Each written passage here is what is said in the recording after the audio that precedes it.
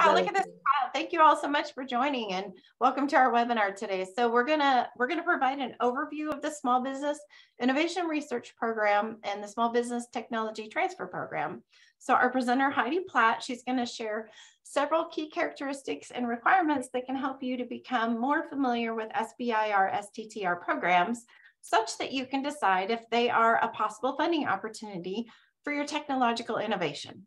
So Heidi is the owner of Platinum Grants and Proposals and has been providing consulting services since 2007 to businesses and, and investors seeking SBIR STTR grant funding, having helped develop having helped sorry clients develop over 75 million in grant applications.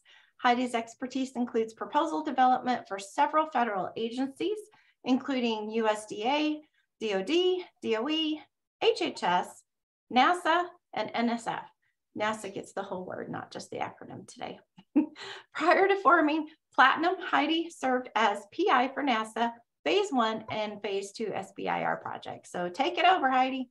All right, sorry we're getting started late. That's my fault. Um, appreciate you guys hanging in there. Um, so yes, today um, we're going to be talking about SBIR STTR 101. It's a general overview of the whole program. And um, first we're going to talk about the program and then proposal preparation steps and phase one proposal overview, and then we'll leave some time at the end for questions. Um, I think, Sherry, if we go ahead and let them just put them in chat if you have them, or we can wait till the end. We're going to try and leave about 15 minutes towards the end for any questions. And um, please feel free though, as, as if you want to start putting them in chat as you think of them, go ahead or save them for the end. Great. So first, we're going to talk about the SBIR STTR overview. And that's going to mean we're going to talk about SBIR and STTR. We're going to talk about the three phase program, type of projects funded, eligibility, participating agencies, SBIR, STTR success rates, and SBIR versus STTR. We'll cover that last. So first of all, let's, what is SBIR and STTR? Well, I've given you the, I've defined the abbreviation there for you. And basically both programs are to commercialize a technical innovation that has high risk. And the difference uh, with the SBIR and STTR, as you can see, the STTR requires uh, US research institution involvement. The SBIR does not require it. You can have research institution involvement, but you are not required. That's the basic difference. I will discuss in more detail the differences in a later slide. So I'm going to move on to the next topic here, the three phase program. So SBIR and STTR it's typically, you usually start with a phase one, you go on to a phase two, and then finally there's phase three. Normally, phase three is not funded uh, through the agency uh, unless there are uh, a couple of agencies, NASA and um, DOD, might be your first customer. And so that's an exception. Most of the time, um, you will have you receive funding for phase one and two, but not phase three. That's where you should be at a point where you should be able to get outside investors. So phase one, that's going to be your feasibility study. That's right now you have an innovation. You have something that something that you're trying to commercialize but there are too many uh, technical hurdles and questions and risks involved that you need to get answers to or to figure out how to overcome in order to get outside investors interested. And so phase one is a great opportunity to start there where you're going to go okay what do I need to do next? What is that first thing I need to do in order to get closer to commercialization? So phase one would be your opportunity to prove feasibility to help answer those uh, first hurdles you're trying to get through. And depending on the agency, they're all a little bit different on how much they fund and the, dura- the duration of the project. This is just in general, it's around 175,000, but it can be up to 275,000 depending on the agency. And even more than that, if you're with NIH, they have some waiver topics. Um, they have some topics where they will allow up to 325,000 for phase one and, and two years. So this is just a general, this table I've provided is, a, is just a general across the board There obviously are exceptions to the rules here. Um, phase two then, so you finish your phase one, you prove feasibility, and then normally the process is you would submit a phase two proposal. So the phase two then would be taking what you learned from phase one and further refining your design and testing and doing additional um, closer to commercialization steps where you're going to get to a, a more commercial product. Um, so phase two would be developing, it, typically it's developing a prototype uh, and most of the time it's taking what you've had and you're making a more refined uh, mvp or uh, a beta version and and doing some more formal uh, testing since you have as you can see, more funding, uh, 600,000 or up to 1.8 million. It could be even more than that, again, depending on the agency. And you'll have more time, two to three years. Um, and then once you finish your phase two, there's additional like phase 2B funding with some of the agencies. Um, there's some of those funding, if you can get outsourced uh, outside uh, sources of funding. Um, sometimes there's other opportunities to get additional uh, phase 2B grants. Um, and then you have your phase three, where again, at that point, once you finish your phase two, hopefully you're close enough to where you can start working on commercialization. One thing I should point out, I don't want to confuse you, the funding, the phase one and phase two funding and phase three, um, the funding has to go towards R&D effort. They want you to be folk they want you to be thinking about commercialization and marketing and and and working on that. And actually some of the agencies will provide uh, that time of assistance such as I-Corps uh, with uh, nsf we have a, the midwest I-Corps and i know sherry could give some more information about that later if, if there are questions um, there are opportunities I-Corps is basically where you can do um, your uh, a customer study um, going out there to find out what kind of interest there is in your product, getting an understanding of the market, your customers, getting to uh, approach them, making phone calls. And um, it's a great way uh, that that's a great opportunity that some of the that you can get some um, there's some smaller, there's shorter meetings, and then there's some longer I-Corps meetings. And um, that's a great opportunity if you haven't had a chance yet, because it's pretty important, especially on depending on the agency. NIH isn't as much so as NSF, for example. NSF wants you to already have approached some of your customers or buyers or um, collaborators prior to um, as a part of your phase one.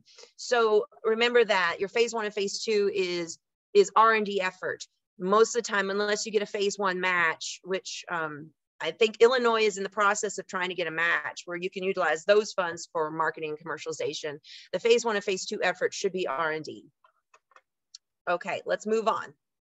Types of projects funded normally most of the time i would say the projects i work i help clients with they're they're developing new technology that's not out there. It's there's there's other competitors there there are are, are products out there that don't um, solve the problems that need to be solved. So there's developing new technology.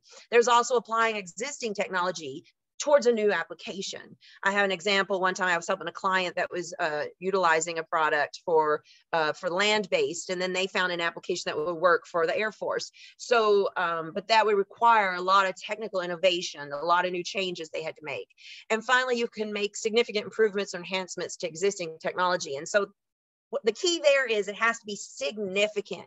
There has to be significant technical risks and hurdles. Uh, it can't be just taking something and modifying it and making it a little bit smaller without, you know, just using commercial off the shelf. There should be some commercial risk involved. Let's move on to next eligibility. Who can? Who can submit to this uh, this program the, the for this funding? You have to be a for-profit company. You have to have less than 500 employees and more, you have to have at least one person or individual who is 50% uh, that is uh, US, more than 50% owned and controlled by one or more individuals. And um, that's in a nutshell the, the requirements for eligibility. Who participates? So um, each of the agencies, there are, I believe, one, two, three, I thought there was 11. There's 11. I wanted to make sure I didn't forget one on there. There are 11 agencies and I've listed them here. They all go by different abbreviations or acronyms. So, you know, obviously not National Science Foundation on the bottom of the list. Um, that one is NSF and, and National Aeronautics Space Administration. You all know that one's NASA. Department of Agriculture, they go by USDA. So that's something you'll get used to if you start, if you decide to submit to a SBIR grant proposal, you'll get to learn a lot of acronyms and abbreviations. Um, those programs that have um, extramural research R&D dollars if it's they have a hundred million dollars or more, they're required to have an SBIR uh, program. And if they have um, a billion dollars, they are required to also have an STTR program. So the uh, the departments there list, the agencies listed there with an asterisk, those are the ones that participate in uh, the STTR as well as the SBIR. And there are, looks like one, two, three, four, five, six. There are six now. There used to be a five, but the USDA uh, recently, just this solicitation period, just uh, added STTR to their solicitation. And we'll talk about solicitations here in a little bit. Um, so each of the agencies, they all do run their programs a little bit differently. They all have uh, different times of the year that they will require you to submit a proposal. Uh, each of the agencies, in order to submit a proposal, there has to be an open solicitation and they for instance nih will have a solicitation that they have uh, they have usually typically it's an april september january submission uh, for that cycle. And nsf they will have windows where you're able to submit in march and june and october. So um, and some of them only have one submission a year. And each of them are a little bit different on what they require as far as how you submit and what you submit and we'll go, I'll kind of, I'll try to discuss it in general what the requirements are, but just be aware that each of them are a little bit different and they each have different submission deadlines. And um, I will talk to you here in a little bit about how to prepare a phase one proposal and that'll be part of that discussion is, is finding a topic in a solicitation. So let's move on. SBIR STTR success. These this is data that I got from SBIR.gov. This was from their most current uh, fiscal year report, is fiscal year 19, 2019.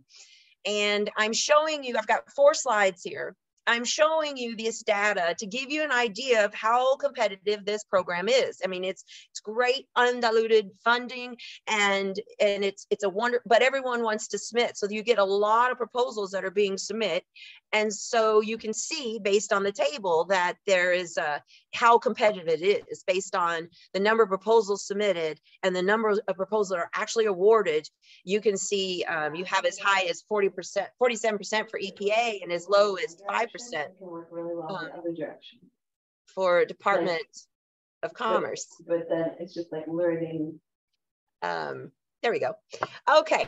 So, and then we'll move on to, that was for the SBIR that's SBIR statistics. So here we go to the STTR. And again, there's fewer. And we don't have, obviously, we don't have USDA statistics yet because they just started their program. And um, so you can see it. And, and I have a, for fiscal year 2019, for total all SBIR, STTR proposals, there were 21,299 proposals submitted in 2019 and the agencies made 4,000 and two new phase one awards. So that gives you an idea the number of proposals that are submitted. Here is uh, the next couple slides are for uh, phase two. And so there you can see your selection rates will go up a little bit because the pot of people, the number of people submitting the proposals has been dwindled down a little because only those that submitted a phase one normally, unless it's a direct phase two, which I will talk about here in a little bit. Eh, normally, you have to go from phase one to phase two.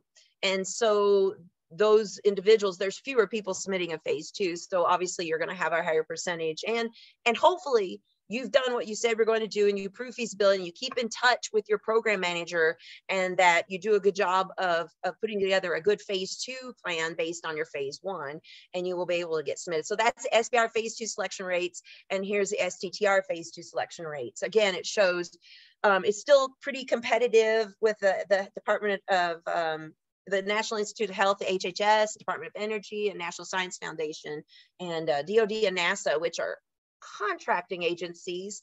And um, again, like I said, most of the time when they choose, I'll, I'll, explain the difference here. DoD and NASA are contracting agencies, which means they their solicitations will list topics that are of interest to them. These are specific problems those agencies are trying to solve. For example, in the Army, they might be looking for a battery pack that's lightweight that that uh, that someone in the service could carry uh, through rugged terrain and in rain. You know, and they're going to be specifically giving out an SBIR or an STTR phase one topic that says find us a battery pack that'll be meet these requirements so and they'll they'll sometimes they'll pick multiple companies. They'll pick two or three and um, and then of the two or three they'll make it competitive and then for those two or three they might go into two of them for the phase two and then typically they'll be your first customers. So that's that's the difference.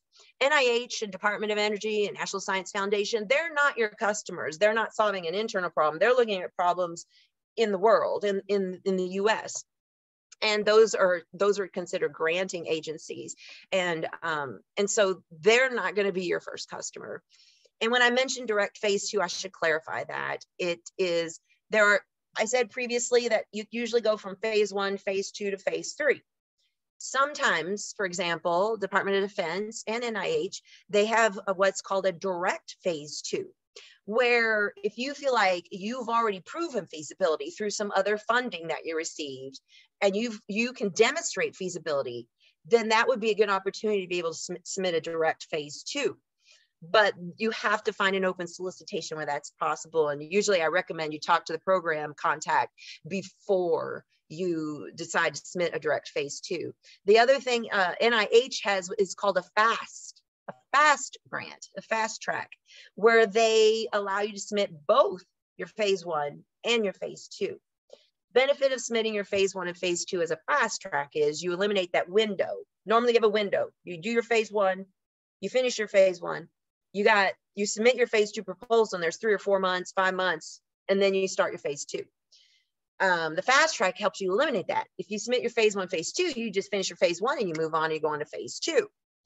The risk you take with a fast track, though, is if they don't like, say they don't like your phase one work, work plan, but they love your phase two, they're not going to fund you. You're going to get zero funding. They won't fund one or the other. You have to get them to buy in on both. So that's that's the risk you take. And again, before approaching a fast track, I would always recommend talking to the agency uh, specific contact uh, for that topic or program uh, center. Um, so let's go ahead and and and I wanted to make sure you understand i have some clients that look at this selection data they look at the selection rates they're like oh wow it looks like sttr has a better success rate i mean 47% you know dod is 20% phase one and then um, it's 27% so i'm going to tell you I would not utilize that as your criteria for determining whether you submit an SBIR versus an STTR um, because each agency is a little bit different. You need to make sure you understand the difference between SBIR versus STTR. And that's what we're gonna go through on the next slide. Let's look at that. And then we can talk a little bit about the success rates too. So, you know, you look at the success rates and say, oh, well, I'm gonna submit STTR because it looks like they have better success rate with that agency for phase one. Um, and it, that should not be how you decide because there are too many factors involved when there are reviewers reviewing your proposal that are out of your hands. The one thing you can make sure is that you're submitting the proposal that makes the most sense for your project and for your team. So let's go through the difference between SBIR and STTR. Both of the SBIR and STTR are going to be submitted by the small business. So even if you're going to be working with with uh, say you're going to be working with University of Illinois and and they're going to do um, they're going to you're going to submit it as an STTR it's still going to be the small business that submits the proposal and will also receive the funding. And then they would pay the university out of their budget. So be aware of that, that the small business is always the applicant. Um, the durations vary. Uh, they can be similar. It depends on the agency. Some of them are six months. Some of them are usually, you know, a year. Usually it's a year for STTR. Um, the SBIR duration can be a year also. So that's it's not always a difference depending on the agency. Um, as far as SBIR and STTR, their extramural budget if they are uh, participating in the SBIR, they have to contribute 3.2% of their budget has to be utilized for SBIR and 0.45% has to be utilized for STTR. Again, that's not a factor to utilize. Don't say, oh, well, SBIR has a bigger pot, so I should submit to them. Again, that's just more relevant for you to understand how that they've decided who's going to have SBIR program and an STR TTR program and how much budget they're required. Um, so as we already mentioned, is a research institution required for SBIR? No, it's not required. And research institution, um, when I say research institution, that could be a nonprofit college or university in the US. It has to be US. U.S. nonprofit college university, domestic nonprofit research organization, federally funded R&D centers. Um, those are examples of research institutions. You are not required for SBIR, but you are allowed. And there are limitations, though, on what you are allowed, how much effort they're allowed. STTR, you are required to have research institution involvement and the percent of participation of the research institution at a minimum for an STTR is 30%. So if you're going to have University of Illinois working on your phase one as an STTR, they have to contribute at least 30% of the budget. That's usually how we determine participation. It's 30% of the budget, the total budget. And you can have up to 60%. Now that's going to include also other consultants, other subcontracts, other subawards. So at a minimum, one research institution has to provide 30% of the effort for an STTR. There can be up to 60% towards that one research institution, or you could have multiple research institutions involved and a consultant, but it can't be more than 60% of the budget. At least 40% of the budget for an STTR has to be done by the small business. They have to contribute that much effort. For an SBIR, at the maximum that you can have of outside source resources is 33%. A third of the budget can go towards consultants, subaward, subcontracts, research institutions total. And finally, the biggest difference, another big difference between SBIR and STTR is the uh, principal investigator involvement, um, their employment and involvement. So a principal investigator is typically you're going to be your technical lead for your phase one. And they should have the expertise in order to uh, manage and run the phase one program. Sometimes, sometimes that that phase the the principal investigator um, needs to be with the university. And, um, and in that case, an STTR would make the most sense because an STTR allows the PI employment to be with the small business um, or the research institution. Now, NSF is a little different. Again, there are exceptions to all the rules. NSF requires you to have a PI with the company and then a co-PI with the research institution. So you have to have two PIs with NSF. They're, they're different. Most of the other ones will allow either or for STTR. SBIR, your primary employment, when I say employment, it's primary employment. 51% of the employment of that individual has to be with the small business. So for an SBIR, if you have a PI who works 51% at the small business, they would qualify to be the PI. And then STTR, that requirement could be with a small business or the research institution. So when I have a client that says, should I submit SBI or STTR? The first thing I ask is, do you have to have research institution involvement that's going to require more than 33% effort? And if they say yes, then yes, you have to submit STTR. If you have um, the say a professor at the university, it should be your PI, and or you they are not 51% employed with the small business. Again, you should probably submit through an STTR.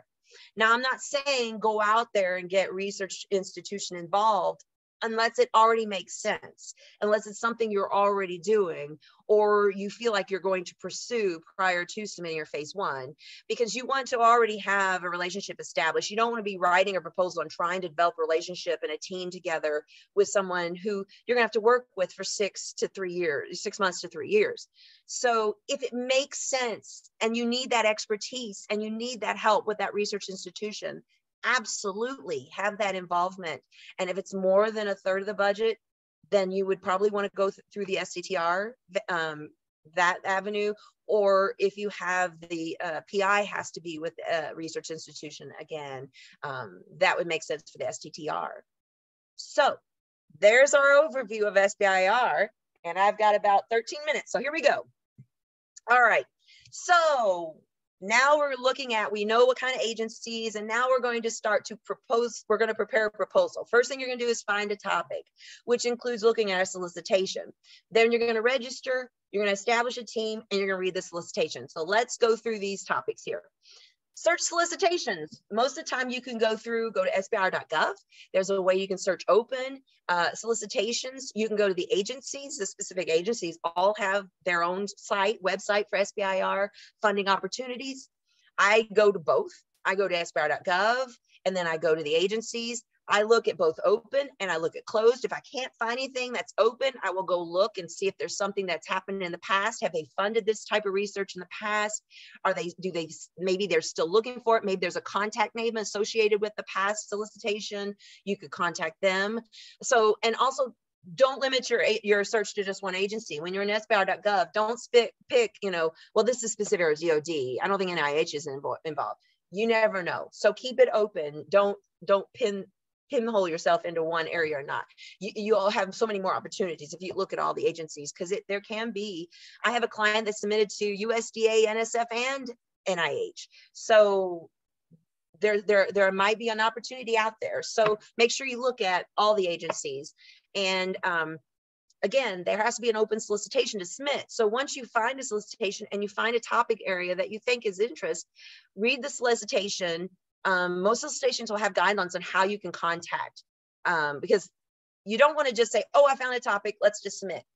You want to go ahead and make sure that you're not wasting your time or the agency's time by submitting a proposal if they don't have any interest in in what you're proposing or it's not a match with what they're they're focusing on at this point so each agency is a little bit different on how they want you to contact them nsf for example they have what's called a project pitch. They have an online form, and you submit a project pitch, and they have a but they have um, four they have contact information and then there's four topic areas they want you to provide some information for so nsf has that way dod they have a specific timeline you're allowed to ask questions if you go beyond that they'll make you send the questions to SITIS. so there's different ways but if you can the next thing you should do if you find a topic is either go to the solicitation find out how you can contact if it's if it's nsf it's a project pitch and, and if it's um, and, and each agency is a little different. So i'm going to give you a couple examples here on the next couple pages. So nih for example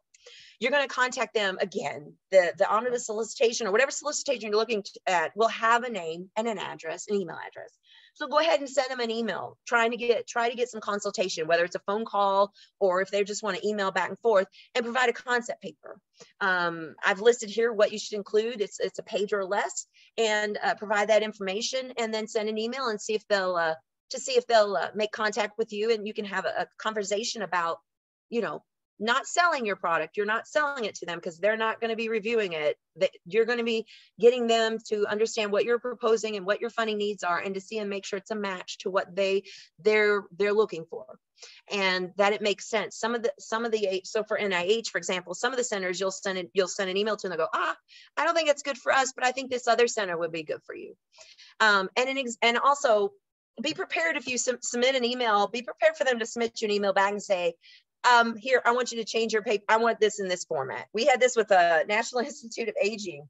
I have a client that just submitted a pro they sent a concept paper to them and uh, the the individual who's in charge of the NIA he said uh, he has a five question format so we had to redo our paper to submit it but it's you know it's a good exercise no matter what way you're communicating because it's making you sit down and write down answering these questions. These are very important questions that are listed here. These are questions you're going to have to discuss throughout your proposal. So it's not a waste of time. It's a great exercise to do this and make contact. Here's an example with usda again, USDA, they have what they call their national program leaders, and they want you to contact them for each of their topics. They have a name and an email, and uh, they want you to send them an email just giving them, they just want a brief summary. They don't want a page. They really just want a brief summary um, with those two bullet items and asking for a telephone consultation. And I have a client that did that, and they were asked to do, um, they were given a 30 minute telephone conversation, and it was great. They were able to say, yes, I think that research makes sense. Here's some ideas we have. Yeah, that looks like a good objectives. We think that makes sense. So it's a great process. don't skip this step this step you need to do this and and if you don't hear from them don't give up try calling them there's phone number if there's another email associated try the other email so those are the um those are just the examples that i had on um on how to contact so um, in addition to finding a topic and, and making contact with the agency, you will need to start registering right away. As soon as you know you want to submit, start registration process and you should start with sam.gov. Most, if not all the agencies, I don't think it's, most of them now I think require some form of registration with sam.gov. So um, I would start that as soon as possible. It is, um, I just went in there the other day and it was talking about how they are delayed right now. If you go into sam.gov, um, so they're still seeing some delays because they just switched over to a new, a new process. It's the uh, unique entity ID, the UEI. They're using that instead of a DUNS number. So um, make sure you start the SAM process as soon as possible. And it's it can take a couple hours to complete. You need it, it gives you a good uh, checklist on what you should have. You're going to need your bank. You're going to need a bank for your small business. You're going to need a small business. You're going to you need an EIN um, and contact information. And so it can take a little bit of time, and you could complete it and submit it, and then it can take a couple weeks to hear back, or even more. I hear right now because of delay. So make sure you start sam.gov. After you get sam.gov, once you get that registration within 24 hours, you should be able to go into grants.gov and sbir.gov. Most of the agencies require uh, grants.gov and all of them require sbir.gov. Those are much easier. Those are, you can get those done in a day those aren't difficult. And the other items on the list, the defense, the EHB, ERA Commons, PAMS, research.gov, those are all very specific to each agency. And again, those don't typically take a lot of time once you've got all the other registrations. ERA Commons can take a couple of days. It's not the same day. Um, so just be aware of that. Start that process now. And in addition, so you're finding a topic, you've got your registration, now you got to establish your team. Make sure you have the right team involved. Who is appropriate PI? who do you have involved um, that could help lead the effort? If they're not the technical expert, um, who else do you need to have involved? Will you will you need to add to your team? Do you need engineering? Do you need software engineering? Do you need someone who can perform data analysis? Do you have everyone involved that that that that will help um, accomplish your phase one goal, to prove feasibility and the objectives or aims that you define? And um, if the PI a lot of times we have uh, professors that are with a you know with a university and and they can't meet the 51% employment requirement.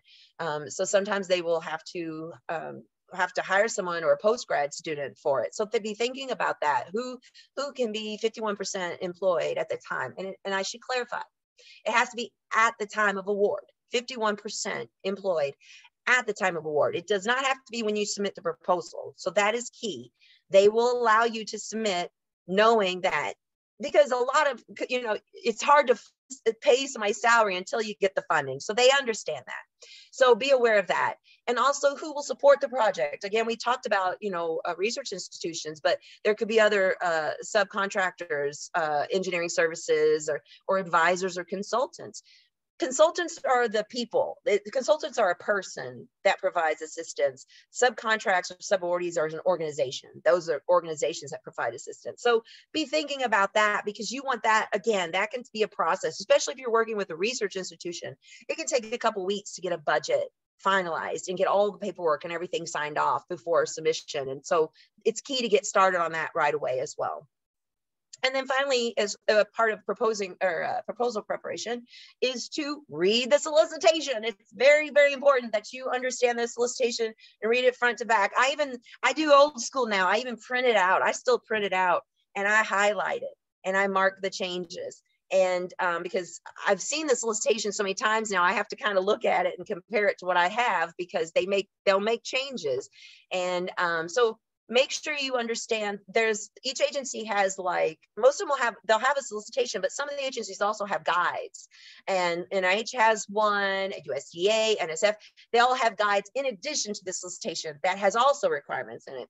So follow all the guidelines in those documents for formatting page limits what kind of documentation is required and and understanding the evaluation criteria making sure you understand that.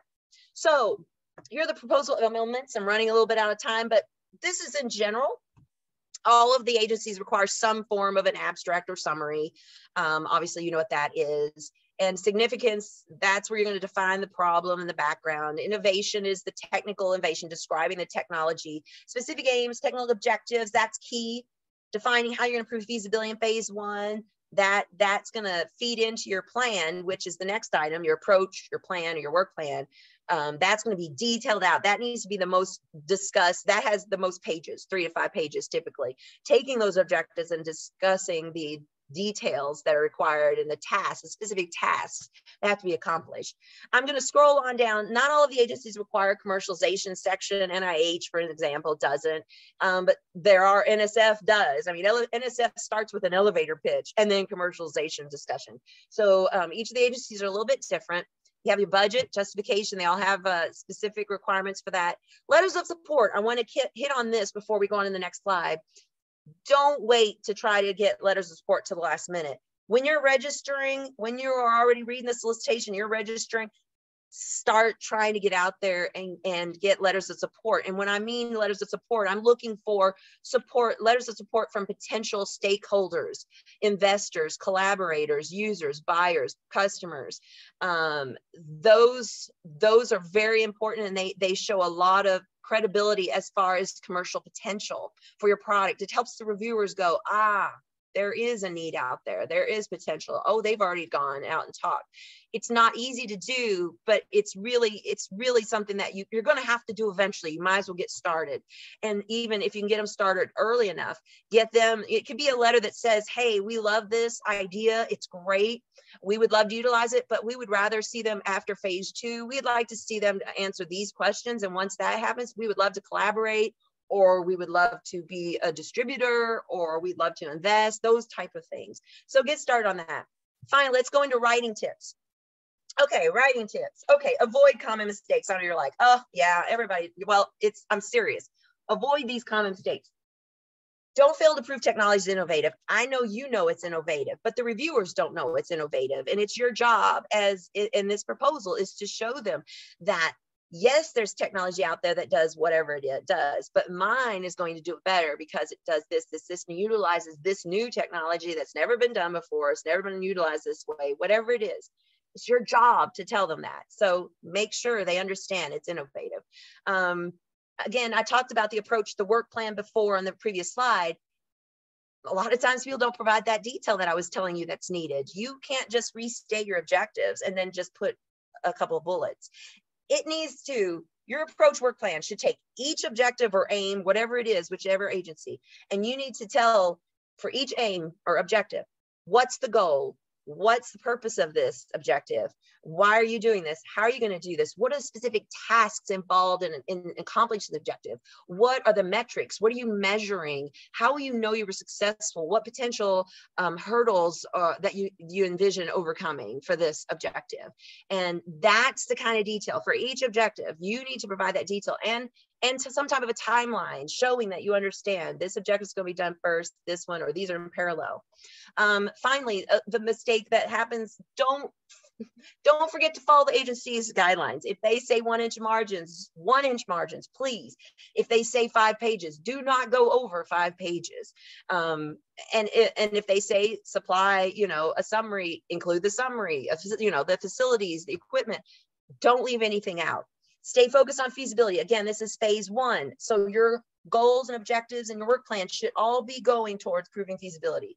Keep your writing clear and concise. Again, you, most of these documents, they're not going to give you a lot of pages. You got to say a lot with very little space. So again, it's very important to be concise and um, use your company name. This is something I, I try to get all my clients have an issue with this especially if you have multiple teams, if you've got a research institution and consultant, and you've got other players involved that are helping you accomplish your goals, it's very important to use your company name. Avoid third person. Don't use we are us.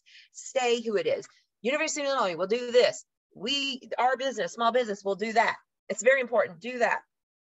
Uh, the next page, here we go. Be positive in your approach. We will do this. Don't say, well, if this works, it'll do that. No, you say, we will Cite references, very, very important. And you should include, there should be some technical discussion in your proposal where you will need to cite references. Make sure you do. Know your reviewers. You won't always know your reviewers, your, they're your audience, but what I'm saying here is know your audience. Um, most of the time, they should have the background to understand what you're, you're going to be proposing, but don't make it too technical. Make sure, you know, that like I could read it and understand it, I guess, because I have an engineering background, but I, am not going to be an expert in the field you're proposing. And understand the NSF, they have commercial reviewers, people that are in the commercial industry, that's their background. So they may not have technical background. So understand your audience, know who you're writing to, and, and making sure you're writing towards the goals of the topic that you're submitting to. Use clearly labeled descriptive relevant figures. I can't tell you how much it's important to use figures if you can. It helps reduce the number of, uh, it helps you say a lot with very little. And I've listed some things, you know, provide visual impact and it should add value, not distract. Uh, don't put something there and somebody looks at it and goes, what's this telling me? Make sure it's telling the story you're trying to get it to tell. Follow the rules, all the rules. Again, know your solicitation and the guidelines. Please follow the rules. Finally, be prepared. It's going to take a lot of time. It's going to take a lot of your time, expense, extensive amount of work, 100 plus hours. Um, know that there's going to be a lot of surprises and challenges and delays and turns, but do all the homework, set aside the time, and you'll be in, and just get yourself prepared. Be prepared. It's it's it's worth it. It's well worth it. It's a great exercise. Don't give up if you don't get funded uh, um, the first time, and this and the agency allows you to resubmit. Resubmit look at the reviewers comments. Most agencies will send you a, a comment. Review the comments. See what they say. Do you think you can address those comments? Do they they were they kind of favorable toward the innovation? They just didn't like how you approached it. Resubmit. If you don't resubmit you wasted your time submitting the first time. Take advantage of those uh, comments you receive and finally know that developing an SBIR application is worth the effort. Again, I, I mentioned this before. You're, it's a great exercise. It's going to make you sit down and think about what are my technical hurdles? Why can't I commercialize? Who's the team that needs to be involved? Is there commercial potential? Who can I start contacting out there and making sure there there is some interest in what I'm producing, and and that we have the right team and the right plan put together. And finally, take advantage of your local SBIR resource, Fast Center Illinois. There's a link there um, for assistance. You can complete the Fast Center intake form form. Um, we provide, they provide some uh, SBIR, uh, SBIR technical assistance, and I and there are other uh, counselors that will provide a couple, about five hours of assistance with SBIR. And uh, you should take advantage of that using that intake form. And that's the end of my story. Ready for questions? Okay, so I've compiled a list for you. Oh my goodness. Yeah. and if I can't answer it, I'll try to get back. Sounds good. Okay, so one of the first questions is this is this is an easy one, um, and that is, may I share your, your the PDF of your slides with the group? Oh yeah. Okay. You? That's what. Yeah. Thank you. Yeah. Absolutely. Um. Okay. So we have, and I, I apologize that I didn't note whether these were already kind of touched upon um, during uh, your talk or not. So I'll just okay. kind of throw them out there. Okay. Okay one one question is um, do smaller or larger budgets for phase one have variable approval rates question mark? In other question mark I, sorry. Typing. In other words i do that. And i'm sounding like a teenager sorry. In other words is it useful to have a budget that is smaller or does too small a budget run risk of being below scope um, below scope for the officers, you know, too okay. small to manage, that type of right. thing. Does that make sense? Yes, absolutely. So yes, that that is a good question. And I do get that from my clients. So what I always say is if they give you a max 275K, say that's the max. First, determine your feasibility. What do you need to do to prove feasibility and, and what can you accomplish with 275K and work from there? Um, it is not, I have not found that it's a benefit to request few, fewer funds than that you know in fact i was just talking today with a couple of grant writers and we were just saying how um, we have we had one one person who got an award but they were going through negotiations and they were told to up their award and another one told them to bring it down so i don't know that you know it's it's it's I don't, I would not write your grant toward, I wouldn't say, well, I really need 275, but I'm going to only ask for 200 because maybe that'll put me in a better pot. That's not, they're not going to look at your budget. They're looking at your merit and your impact. And, and, and, and that's what's important is, is establishing innovation that is com- the commercial describing the commercial potential what you've done to, to to demonstrate the commercial potential and then you have a good team a good plan put together that meets their goals that's what's more important the budget they will look at but um, they will negotiate if they want it lower so go make i wouldn't say don't go to 275 if you don't need it but if you need that to, to prove feasibility absolutely use it that's not gonna they're not gonna count against you Okay. Um, did that answer the question? Good. I think so. I know David was one who asked that question. Okay, so I'll move on to this one. Um, are there any incorporation requirements before funding can be awarded? Incorporation.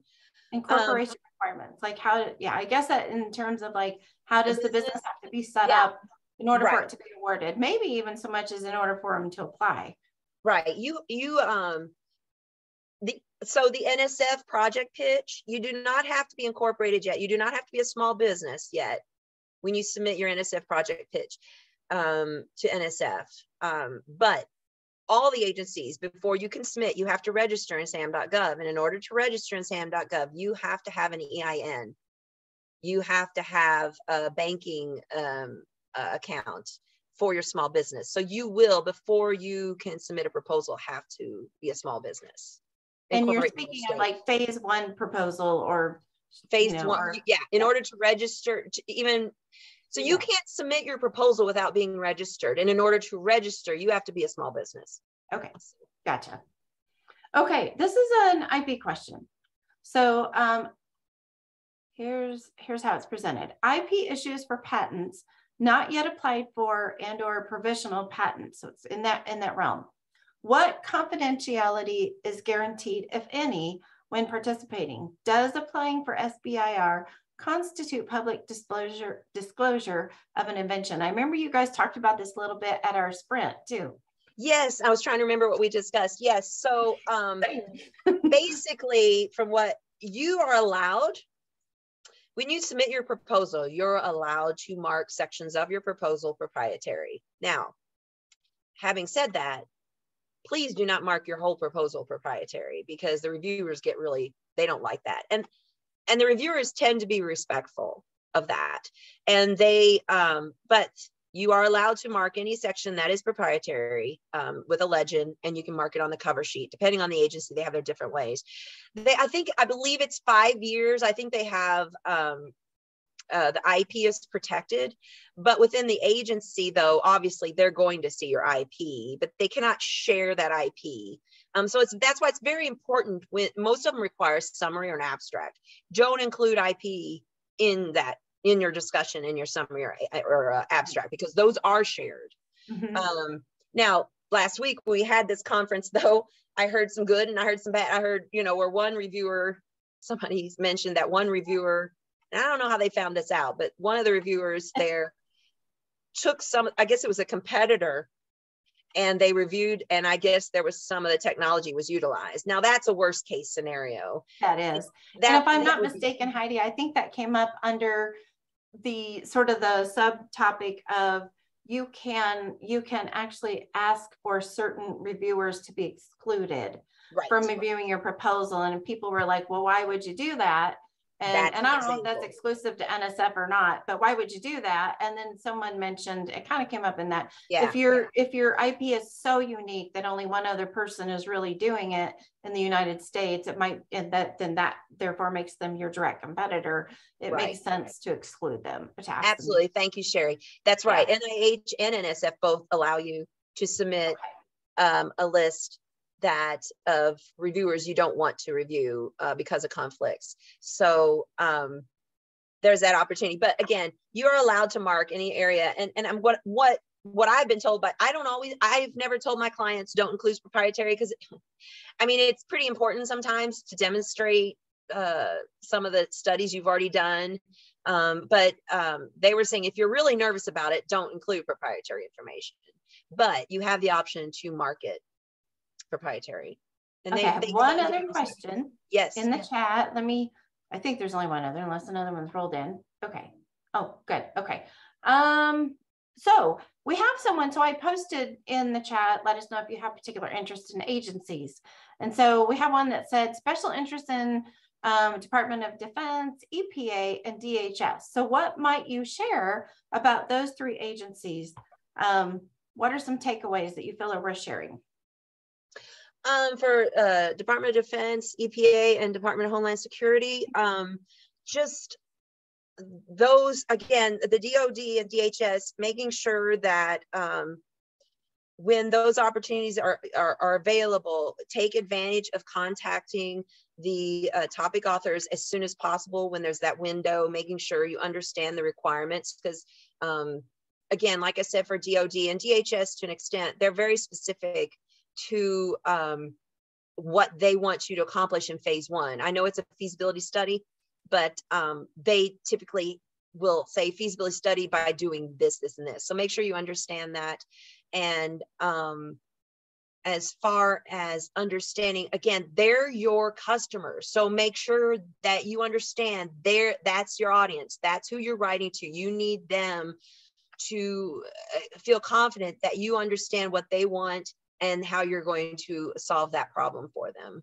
And they require the same register, they require the grants.gov, sam.gov, and they have their own submission site, making sure you just understand that process and how to use that online site. It's, it's not very difficult, um, but understand that EPA, I, I, haven't had as much experience with EPA, DOD and DHS I have, and that that's the, those, that's the information I can provide. I'm sorry, I don't have more on EPA. That's great. I, I, I, so this is awesome. Thank you, Heidi. Uh-huh. Thank you so much for coming and sharing today. I'm going to put a plug in for a couple of more webinars that are coming up. Um, so one of them is later this month, uh, well, later this week, actually, September 29th. I'm going to put this in the chat. Um, so we have, we have a, a training coming up. It's, it's actually like, there were four part series. This is number three and it's called Overview of Federal Acquisition Regulation. This might be something worth joining if you're thinking about pursuing um, more of like the defense type of contracts. Um, so let me give you, here, let me give you the, I'll give, that's the title of it. And then here's the link for it. Uh, there will be one more of those in December and I don't have the name of that in front of me right now. We also have a, a another S, a Fast Center SBIR 101 coming up in October, and that's scheduled October 25th, and it's called Managing a Startup Business Startup or Business After the Award. Uh, this is a, a lot of really good information to know rolling into. Oh wait, did I just share that with everybody or not? I have a feeling. Oh no, hold on, hold on. When I entered those things in chat, I shared it with one person. So the whole, I need to pay more attention. Sorry, guys. okay. we'll get that. We'll get that one person's very appreciative. I'm sure that person is very appreciative. Okay. So I, the, you might be thinking, well, I don't need that information until after, you know, I um, get an award. Well, maybe not. We think that's really good information ahead of time. Um, so let me, okay, so I just gave you the link and the information for the the DC3 training. I'm trying to figure out if I can get this. There we go. There's that one and one more link. Sorry, I should have been a little bit more prepared for this, but I wanted to make sure all the questions got answered. There we go. So you have information for the one coming up on Thursday um, about the uh, federal acquisition uh, process and rules and things of that nature. And then the one in October on managing a startup business after the award. So thank you all for joining, hanging in here this long. Sorry I went one minute over. Enjoy. Sorry for being late. you did great. You whizzed right through it. Thank okay, you. thanks.